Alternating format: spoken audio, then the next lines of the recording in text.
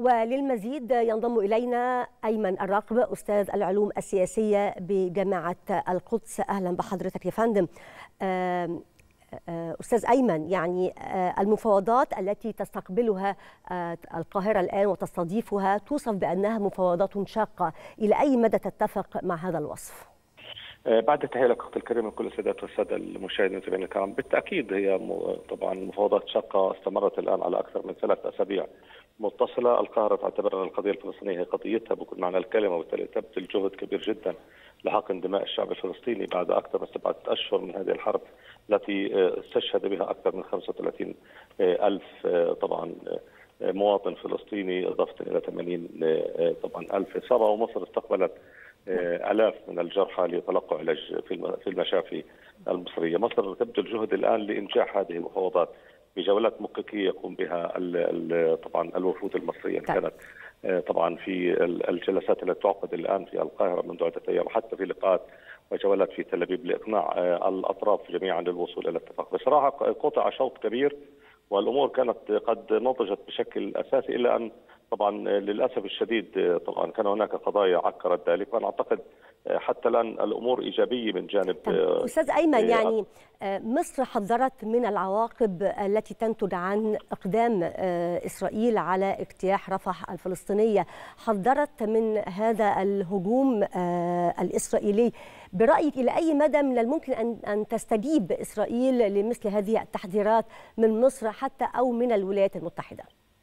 للأسف الشديد الرسائل التي تأتي من تل أبيب لا لا تدل على التفاؤل بصراحة ولا تدل هناك استجابه من قبل تل أبيب لا للنداءات التي تأتي من الولايات المتحدة الأمريكية ولا حتى للتحذيرات تأتي من مصر. وبالفعل هي بدأت هي اجتاحت جزء من رفح قبل يومين وسيطرت على معبر رفح البري ولا زالت طبعا بكل وقاحة يتحدثون إن كان سموريتشا وبن غفير ولا ولاة المتطرفين داخل حكومة نتنياهو انهم سيكملوا ذلك. وللاسف نتنياهو وضع انه يفشل في الضغط على هؤلاء الذين طبعا حلفاء في الحكومة الذين يضغطوا عليه لإكمال الاجتياح في رفح، البعض اعتبر أن ما قام به الاحتلال في الأيام الماضية هو من باب فقط طبعا الضغط على المفاوضين ولكن نحن نعلم ما يفكر به بصراحة نتنياهو، نتنياهو لا يريد لهذه الحرب أن تنتهي. وهذه المعضلة بصراحة الكبرى خلال المفاوضات، الجميع مقتنع أن ضرورة أن تنتهي هذه الحرب. إلا نتنياهو طبعا مجموعة الذين يروا أن إذا انتهت الحرب هم انتهوا سياسيا.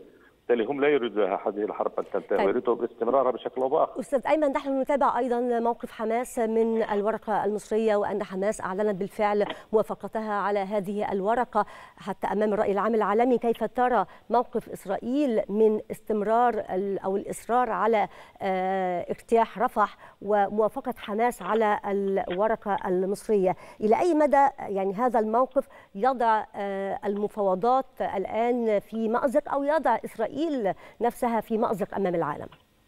يعني إسرائيل التي تضرب بعرض الحائط بصراحه حركة حماس في أعلنت قبل أيام أنها تقبل بالورقة المصرية، تفاجانا أن الاحتلال ادعى أن هذه ورقة معدلة عدلتها حماس. وهذا غير صحيح لأن حماس قالت نحن نقبل بالورقة المصرية ولا تستطيع أن تعدل ورقة سلمت بيدها. ولكن الاحتلال الذي أصر على ذلك ليتهرب من أي التزام. وبالتالي أعتقد الاحتلال الآن يواجه العالم كله ليس فقط الفلسطينيين ولا مصر ولا حتى الولايات المتحدة الأمريكية. هو يواجه كل العالم ويصر على أنه طبعا يكمل أهدافه. طبعا إذا ذهب إلى رفح وفشل في رفح كما نرى الآن هو عملية اجتياح متدرج في رفح ماذا سيقول بعد عدة أيام؟ سيقول نحن لا زلنا في المعركة. نتنياهو الكريمة يريد لا يريد هذه الحرب أن تنتهي لأنه يدرك أن إذا انتهت هذه الحرب وانتهى سياسيا وبالتالي سيضع دائما المعيقات لعدم إكمال مشهد انتهاء هذه الصفقة للأسف.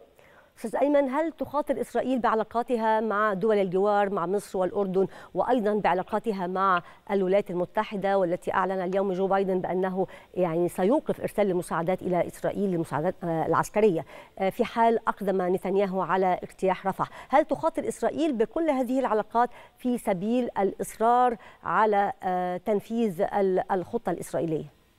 للأسف نتنياهو يعيش حالة جنون العظمة لا يكترث لكل ذلك وحكومته أيضا يتحدثون بنفس السياق سميروتش وبن غفير ويهاجم الولايات المتحدة الأمريكية الذين الذين كانوا يستجدوها في السابع من أكتوبر. لكن أنا أعتقد يعني يمكن أنا أعتقد التهديدات الأمريكية بالعادة غير جادة لأنه هددوا قبل ذلك ولم ينفذوا.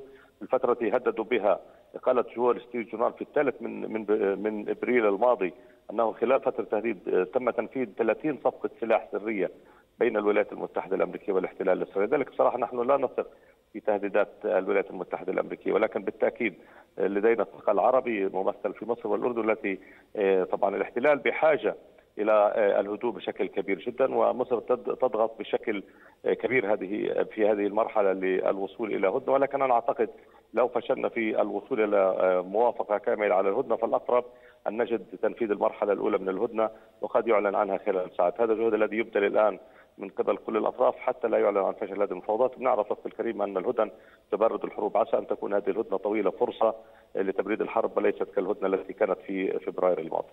أشكر جزيل الشكر الأستاذ أيمن الرقب أستاذ العلوم السياسية بجامعة القدس.